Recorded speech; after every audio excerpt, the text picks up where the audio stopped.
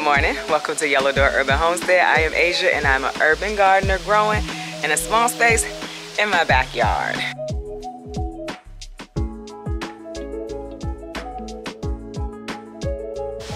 So this morning we are clearing out some things. You saw that I got my last cantaloupe off of this trellis. So we're gonna pull this cantaloupe plant down. We are going to plant our last seeds for the season, our last direct sowing. So I'm doing onions. I'm gonna resow my parsnips because they did not come up. I'm gonna sow some lettuce um, and oh, some dinosaur kale because they did not have that at my local feed and seed. Someone asked me, did I start my plants this year from seed? I did not. Well, well, I did, but they didn't do well because life was very busy. Um, so I ended up buying these plants from my local feed and seed store. Um, they were $2 per container, or if I purchased a flat, they were $20. Um, and so no, I did not start these plants from seed. I normally do. Life didn't work out, and so I didn't this year. Um, I'm gonna plant those things out today. Uh, what else am I doing today? Oh, we're gonna cut these trees. We're gonna go ahead and cut these trees. Um, it's like 60 something degrees out here, like right at 70.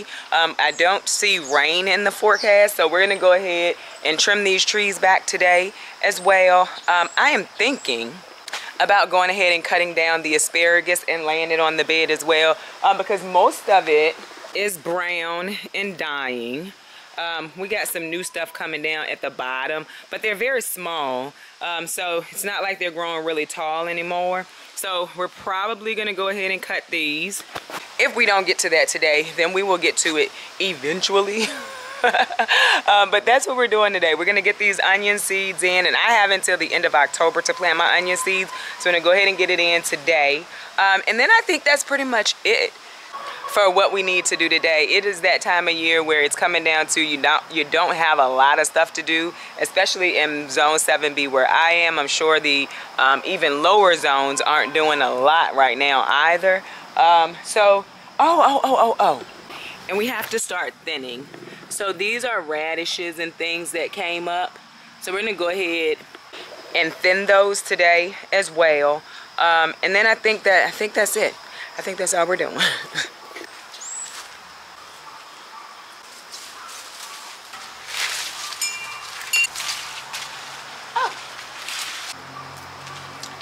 the way, someone asked for a nail cam when I get my nails done. So I got my nails done. So this will be the first official nail cam. So these are September, probably gonna go into October because I got them done late. I only get my nails done once a month. But anywho, nail cam. There you go. I got some cute little leaves on it uh, for fall this year. So, nail cam for you.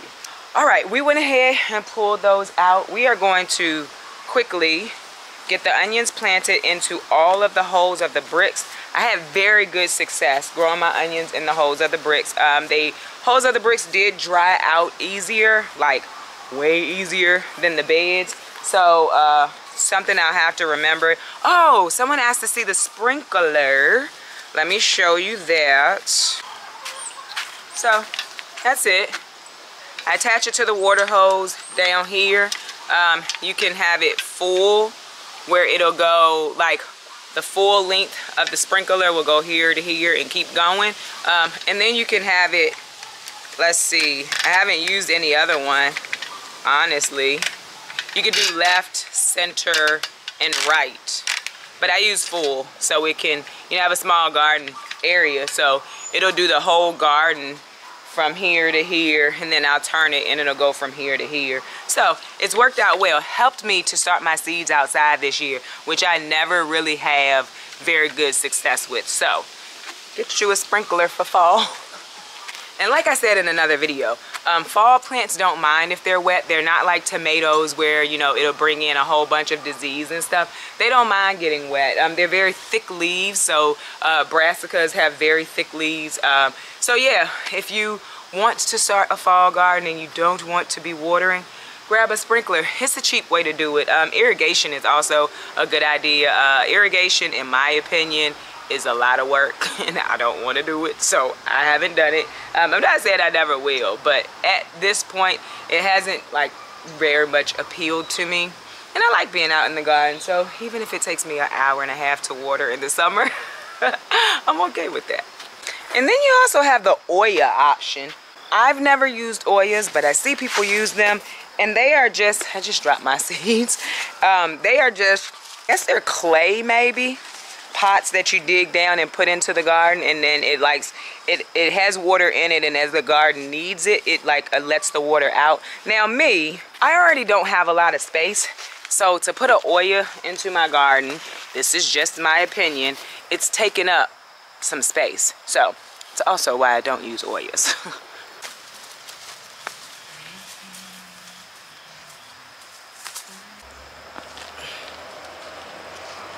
I have no idea what this is, but it grows a very deep taproot. It looks like burdock, but I don't know. I didn't plant any burdock.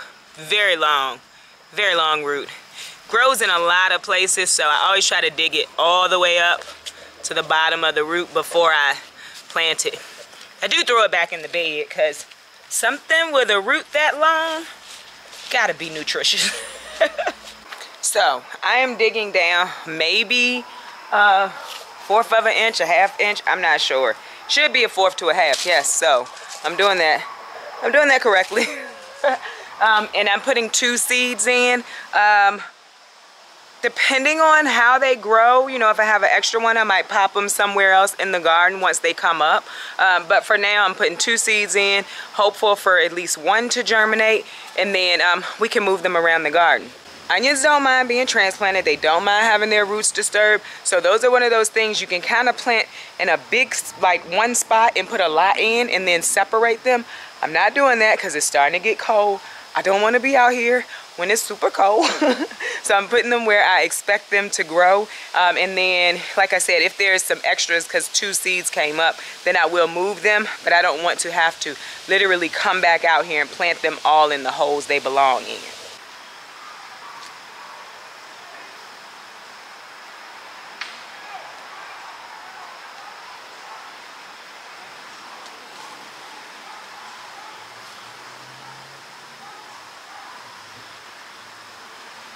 Okay, so the onions are in. We're now gonna do the lettuce. I planted onions like all over this garden. it's not just in the bricks. I put some over here in between the brassicas and lined up with the beets. Essentially, they're not in the front part of this, but like they're here in between the beets and then they're here in between the brassicas. So I'm hopeful to get a nice harvest of onions um, in the spring because what happened is I did them last year in the holes of the bricks and I got a good harvest but I want enough to make powder but also have for fresh eating. And I have a few left for fresh eating not gonna get me through the winter. So I put them all through the garden. There's some over there in the bed too and then they're all in the bricks. So once I'm finished planting all this stuff out I'm gonna turn the sprinkler on and just let it go for what it know um, and and but but we got a lot more to do before then. we got volunteer marigolds that popped up. It's pretty cool. Remember I was throwing them the seeds back in the bed. There's one right there too. And one right here.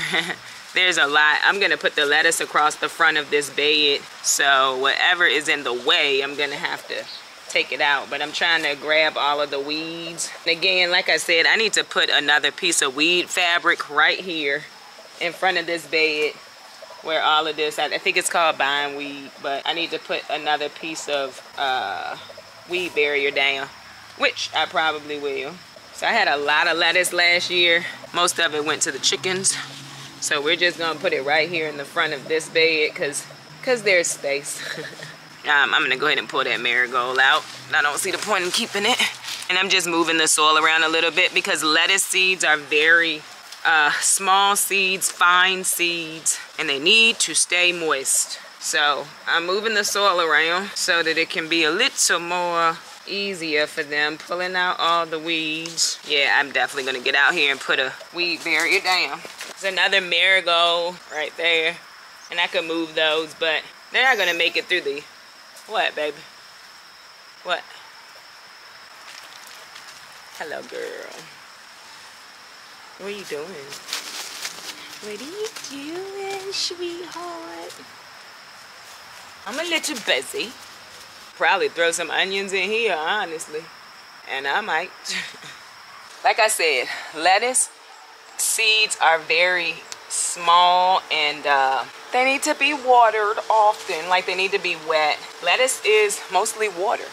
So the soil is pretty moist over here. I'm still gonna water just because. So I have Marvel of Four Seasons, Parris Island Cos, Red Romaine, and Bibb lettuce. And so I said I could probably put onions in this bed.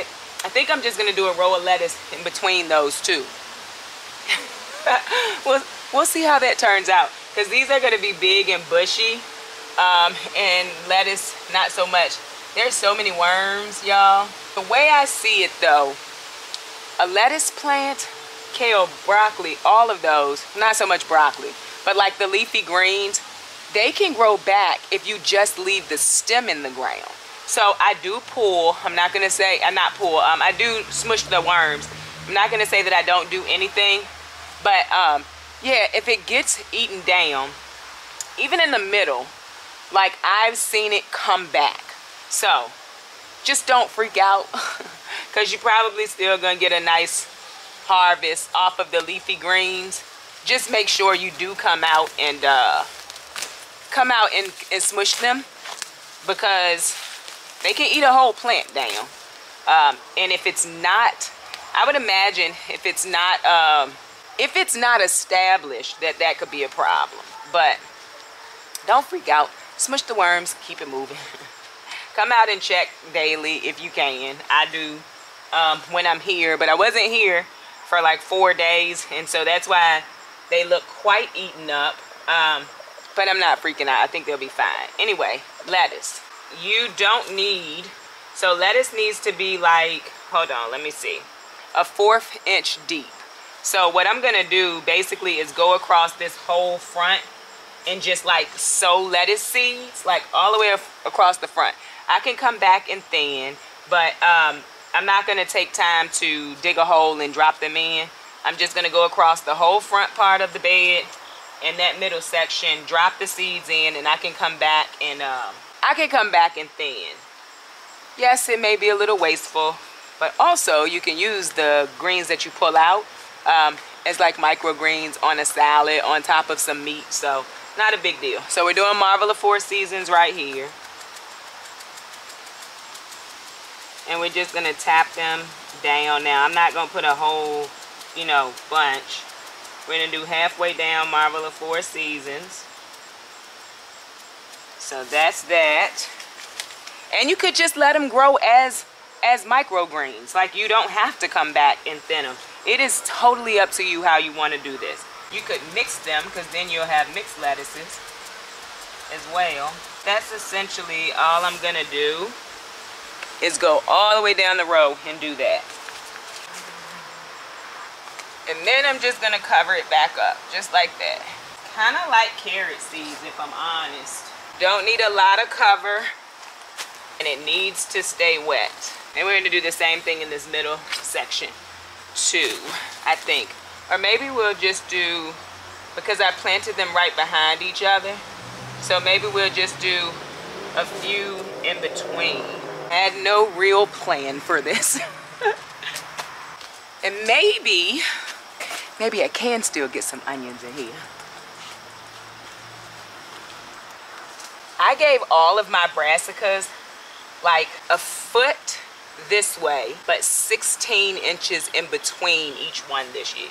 And lettuce is cut and come again. Whether you do them as microgreens or a head, you get more than one harvest off, you can get more than one harvest off of lettuce seeds um, if you choose to just come out, cut the lettuce, and leave the plant. But what you see in the stores is the whole head of lettuce. But if you're growing it in your own backyard, you don't have to do that. You could just come out, cut what you need, and then leave the plant. There are a few volunteers in this bed, and I left those too because, because they volunteered free plants. So lettuce can withstand some cold. Um, I'm not sure exactly how cold, but they can withstand some cold. Put them in this bed I'm not gonna cover this bed. We will see what happens. But I don't think that, um, you know, I think they'll last at least through like December here. January and February are our coldest months, so they may not last, um, you know, all the way through. But until they die down, I'm going to eat them. So let's see. We need to get our Lacinato kale in. We need to replant the parsnips. I've never grown parsnips before. I feel like I'm doing something wrong. and I've definitely not ever grown them from seed. So we're gonna go ahead and put some Lacinato kale in where we can fit it in. I'm not really sure where that is, but we're about to figure it out. I'm all out of plastic gloves, so I'm gonna use this to dig the holes because uh, I don't want to mess my needles up. so I do know one spot we could put some Lacinato or dinosaur kale as it's called. There's a spot right back here that doesn't have anything in it. So then go ahead and drop those seeds in there.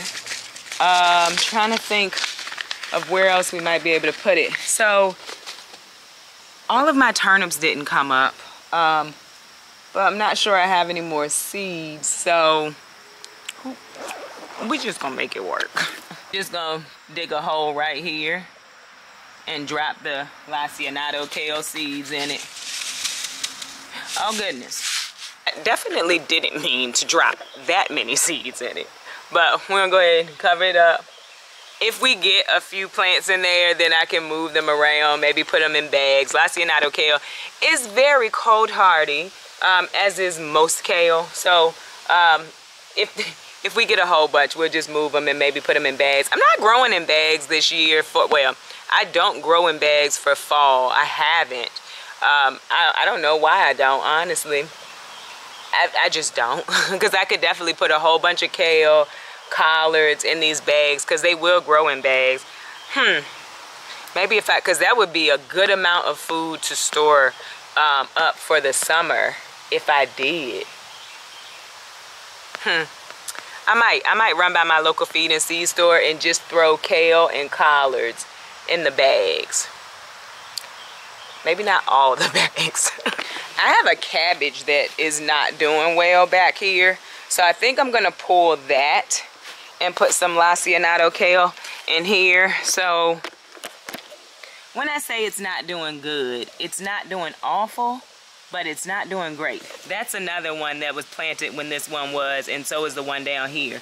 So it still has the leaf in the middle that's growing, but I feel like it's struggling. So we're gonna pull that and drop some kale in there too. And so this is just me trying to find space because if I wasn't worried about space right now, I would have left that. would have left it and saw what it did. Look at these beans, y'all. These are probably purple podded. They fail and they just sprouted. They won't make it through fall, but I'm gonna leave them because you never know what could happen. Not through winter, but I might be able to get something off of it. I push them towards the trellis once they grow a little more. Maybe they'll grow up the trellis and give me some more beans. But for now, we're gonna drop these Lacinato kale seeds in here. I'm gonna move this soil around a little bit, but do y'all see how easy my soil moved now? after I dug it. That's a whole entire rock. I feel it. Where is it? Well, I don't know. But it was in there. So we just gonna move it around a little bit and then drop some drop some seeds in there. Just gonna drop some in there. Oh my goodness, the Lacinato kale seeds is really falling in here today. so that's the Lacinato kale if like I said, if more pop up, I'll move them around somewhere in the garden. Um, and I'll put them in bags. That's what I'm gonna do. I'm gonna say that. I'm putting them in bags. Um, so now the only thing we have left is I wanna drop some more carrots in some bags and then I want to replant my parsnips. Something important to remember when you're planting for fall is that these plants look small when you put them in. like for fall, the plants look really small when you put them in. But once they grow, they're gonna be huge. So while it looks like I have a lot of space left in this garden, I really don't. So you hear me saying like, I'm looking for space and you're probably like, you got all kinds of space, girl. I really don't. I really don't because the plants are gonna get huge, which is why I said I did 16 um, inches 16 inches between the plants. And then the box that they're sitting in is 12 long. But in between the plants across, they're 16 inches. So just a reminder that they may look small now. They will not be small when they finish growing. So just just so just so you know for when you plant these out when you plant a fall garden. And I know some people said they were in spring. Lucky y'all. Lucky y'all. But I guess you just came out of winter of uh, yeah you just came out of winter. So lucky but also still you just came out of winter. So let's see here. Let's read the back of this packet. Just like I don't like reading the instructions on products i'm not a fan of i'm not a fan of reading the instructions on packages either but i will for this because i did not do it right. Okay so it's saying only a half inch deep um once the soil is workable. So i'm assuming i'm trying to overwinter these is what i'm doing because once the soil is workable would mean i should be planting them in spring. Y'all don't talk about me. So we we still gonna plant them out. And so I think instead of putting carrots in bags, because I was able to get carrots to germinate in this bed, I'm gonna make this whole row parsnips. I'm gonna attempt to make this whole row parsnips. And then right behind the carrots that already germinated, I'm just gonna drop more carrots. So it'll be a whole line of carrots, a whole line of parsnips. And then um, like, there are some turnips that came up. I think maybe these are rutabaga back here and then the rest is radish. So we're gonna go through and thin those two today. Um we again we got a lot to do today. This might end up being a two-part video depending on what it looked like when i um what it looked like when i start editing it. So it's saying a half inch. Oh something's coming up right here. Oh i think that's another nasturtium that volunteered. Pretty sure that's what that was. But we got a lot of nasturtiums that volunteered. Listen, I know y'all like, what is she talking about? Stop talking and plant these seeds. I'm about to do it. so I'm gonna tell you what I'm gonna do. I'm gonna do them like I did my carrots, but they're not big, I mean, they're not small seeds. That's interesting. Wait, can y'all see? They're not small seeds. It says a half inch deep. They're not small seeds though. So, I'm just gonna do like, I'm just gonna do like this. And if these don't work this time, I'm coming back through with onions or something. Cause my time is drawing near with the planting. At least direct sowing. And then I'm just gonna do it like this. I have some rainbow carrots, which I think are so pretty. We're gonna go down there. See right here, the carrots germinated. We're just gonna put some more carrots back here. Another volunteer marigold. right here, I'm pretty sure we're parsnips. I don't have any parsnips coming up. So we're just gonna finish the three carrot rows. But look, I got really good germination on the carrots, y'all. Pretty excited about that because if you've been here, oh, I thinned one by mistake. if you've been here for a while, you know that's not my strong suit. Right here, we're just gonna dig a little burrow of sorts, just like we did with the parsnips. And we're gonna connect these carrot rows. Just like that. I think y'all are crooked, sorry. Let's try to get you, there you go. I'm gonna put some carrots in here. Again, just gotta make sure you keep them keep them moist. Hope I have enough seed. Yeah, I have enough seeds to do this.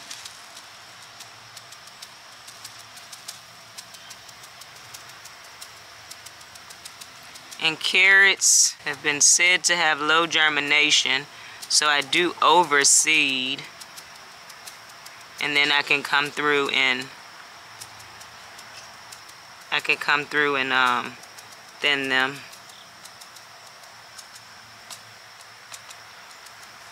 So just like that, and then I'm to just kind of toss the soil back over them. Just like that. If you have any big pieces, I would break it up just to be just to be safe. All right, so just like that, we are done planting seeds for the year. And yeah, I think I'm gonna go to my local feed and seed store. So here's the thing. If I decide to plant in these bags, I also still have to amend these bags. That's the part that's probably gonna keep me from growing. that's the part that's probably gonna keep me from growing in these bags this year because I don't particularly want to. I, I'm tired. Y'all ain't tired. I'm tired. All right, let's get down here and thin some of these radishes. I still have time. So maybe I thin the radishes. Maybe I thin the radishes another day. Actually, I think I'm gonna end this video. I'm tired. I want to go in the house. Maybe later on this evening I'll come back and finish it out. This, you know what? It'll be a two-part video. Let's just say it that way. I may come back out tonight. I may not. We're going to go ahead and turn this sprinkler on. And then um, I'm going to say goodbye.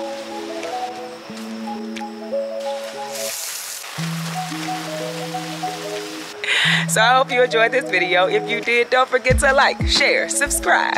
Don't forget to visit me over on Instagram where I post about the things going on in the garden almost every day. Bye y'all.